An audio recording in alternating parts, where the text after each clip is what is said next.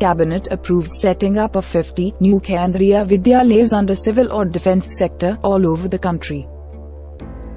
The Union Cabinet chaired by the Prime Minister Narendra Modi has approved the setting up of 50 new Kendriya Vidyalayas under civil or defense sector all over the country.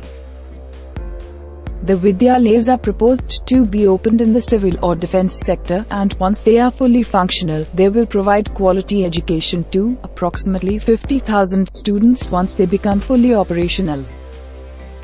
Consolidated list of 50 proposals recommended by the Challenge Method Committee for opening of new Kendriya Vidyalayas.